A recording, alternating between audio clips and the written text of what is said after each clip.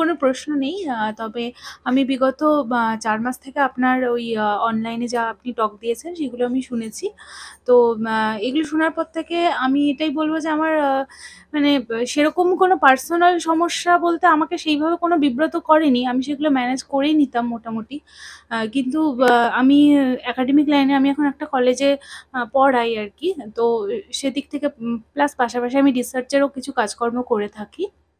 হ্যাঁ তো সেদিকে আমি অনেকটাই মানে মনোযোগ দিতে পেরেছি মানে এটাই আমার পাওয়া। বেশ। যার জীবনের যাত্রা তেমন, এবার আমি ওনাকে বলতে পারি, ভগবানের দিকে তো আসতে হবে। ব্রহ্মসূত্র তো পড়তে হবে।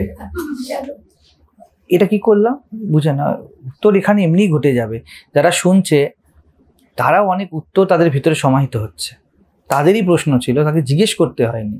এদেরকে সবসময় মানে কি বলে, এরা হলো পরোক্ষ শিষ্য, পরোক্ষ, পরোক্ষভাবে শিখবে, প্রত্যক্ষভাবে সবাই প্রশ্ন করে না। এবার ওনাকে যদি আমি বলি, দেখুন, অস্বীকার জীবনে, তার মানে আমি বলছি কি, ব্রহ্মসূত্র পড়তে হবে তো? ঠিক?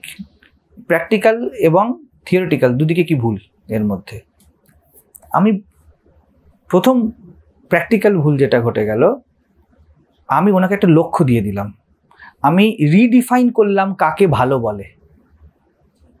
আমি শান্তির পথকে একটা স্পেসিফিক ওয়েতে আটকালাম। ওনার মনে হতেই পারে উনি যে থিসিস করছেন বা যেসব নিয়ে পড়াশোনা করছেন, তাতে উনি ভালো আছে।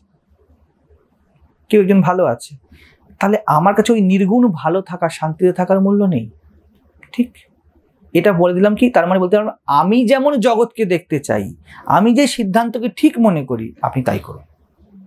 তাহলে আপনার ভালো থাকা থাকা নালে বিভিন্ন ধর্মরা এই করে। আপনি ভালো নেই, আপনি জানেন না, সাড়ে সাতি সাড়ে আটি কত কিছু আছে। বুঝতে পারছেন না আমি এটা দেখছি। এরকম না, বিভিন্ন রকম ভাবে এ ভালো থাকা, থাকবে না রে। মাকে মনে কর। শিখতে হয় না। তাহলে যে ব্যক্তি সুস্থ ছিল সেই এবার ভাবতে শুরু করেছে। সত্যি তো কোথায় একটা গোলমাল তো আছেই না। মা যে চার মাস ধরে কথা শুনছি বা দশ মাস শুনছি বা যে যেমন শুনছি উনি বলছেন উনি এটা জীবন জানালো হলেও হতে পারে।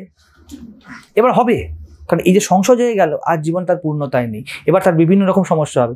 এবার দেখা গেল হাত থেকে তার চায়ের কাপ পড়ে যাচ্ছে। এদিক ভুলমাল কারণ ভিতরে সংশয়ের বীজ দিতে হয়েছে। এটা সব থেকে কী হলো? প্র্যাকটিক্যালি তার লস সব থেকে বড় আমি কী করলাম? আমি শান্তিকে গুরুত্ব না দিয়ে আমি জীবনের পূর্ণতা বিভিন্ন পথকে সম্মান না করে একটি পথে ঢালবার চেষ্টা করছি। এটা সব থেকে বড় ভুল হলো। দ্বিতীয় হয়ে গেল, ভুল হয়ে গেল কি? এবার উনি আমারগুলো, আমি যে পদ্ধতি বললাম, সেই পদ্ধতিগুলো উনি করতে শুরু করবেন।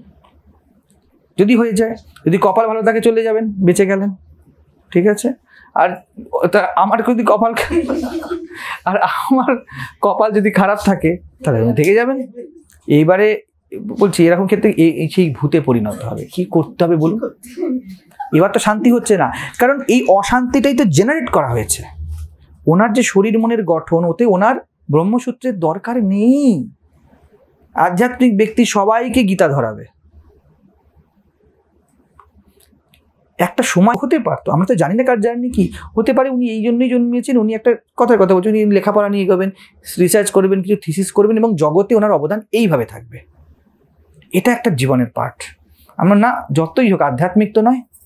আপনি কোন একটা ভিডিওতে বলেছিলেন বিজ্ঞানীর থেকে আধ্যাত্মিকতা উঁচু। উঁচু মানে সবাই উঁচু হবে। এ বলছে আমি যতটা পারব এ বলছে ততটাই বাড়বো।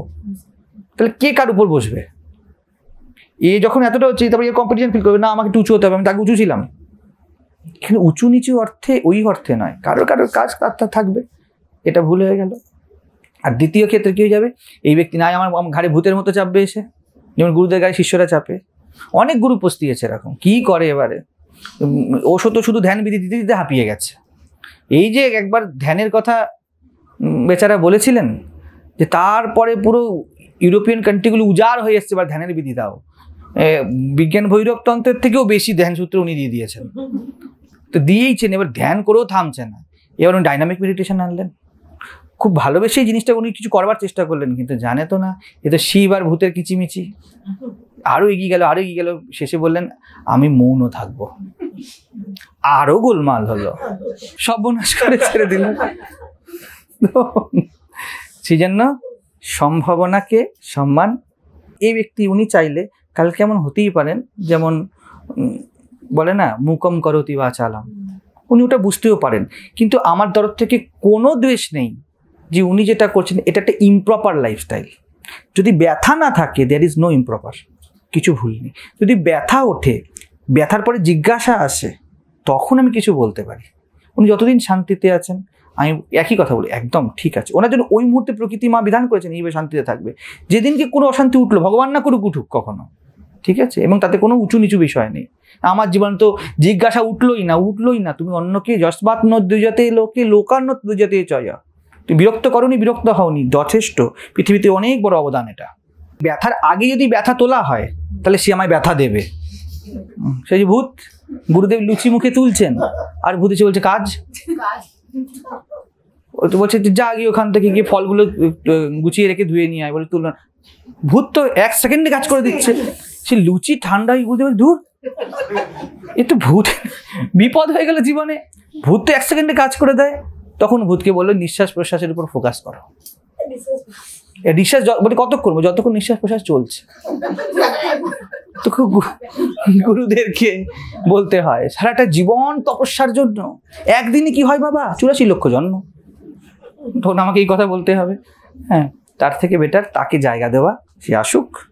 যেদিন তার মধ্যে আরও এগানো মা বিধান করবেন সেদিনকে আমার মধ্যে বা অন্য কারোর মধ্যে যে কারোর মধ্যে তাকে এগিয়ে দেবার যন্ত্র, তার এগিয়ে দেওয়ার অপশানও তিনি বিধান করবেন। বোঝা যাচ্ছে? এটা বোঝার বিষয় কিন্তু। আমি যতগুলি কথা প্রথম সকাল থেকে বলেছি, সব মাঝখানের বলেছি। জীবন মাঝখানে আছে। হুম?